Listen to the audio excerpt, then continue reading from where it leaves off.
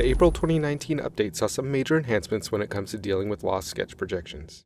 In these two examples, I'll show you some ways to use it and why projections can get lost in the first place, starting with an uber simple example. Here I'll start a sketch where I'll leverage those handy sketch projections by hitting P on my keyboard. I'll pull off a couple entities, like the face on the left side and two edges on the right, where I'll use that long click select other to get the lower edge. And that's it for this sketch.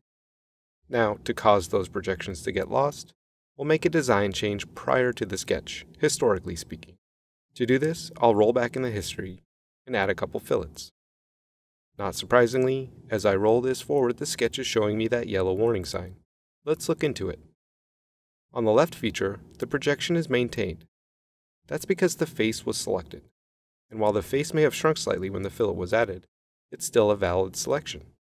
This is important to remember as you use projections on faces going forward. On the right, however, the line is showing yellow, indicating a lost projection.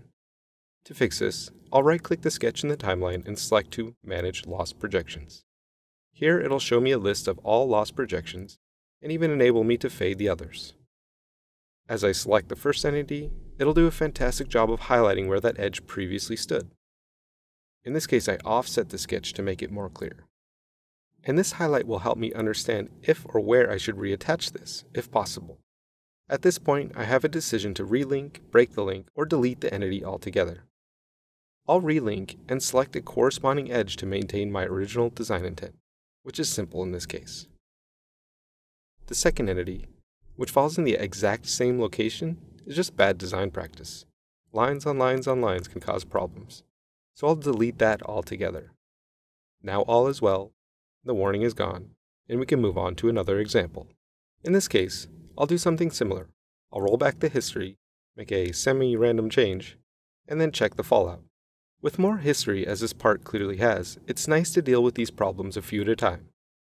So I'll roll it forward bit by bit. Here I found a warning, so let's fix it.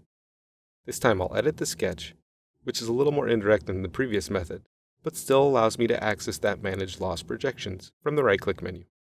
What I want to note about this fix is that when I select the missing entity, it doesn't show me that yellow and red line separately, because they're right on top of each other. Instead, it intelligently shows me orange. Anyway, I'll relink this as I did in the past example, roll it forward, fix another, then roll it right to the end. The red error on the circular pattern means something entirely different. That's basically a showstopper. It means the feature is unable to be made. And although this isn't necessarily a lost projection, it's something we're showing a fix for. I'll edit the pattern and try changing from that optimized compute to the identical option. Doing that fixes that issue and a number that were previously present. If you see errors like we did here, start with the features earliest in the history. The downstream items may just resolve automatically. If you find this handy, give it a thumbs up, subscribe, or leave a comment. And as always, thanks for watching.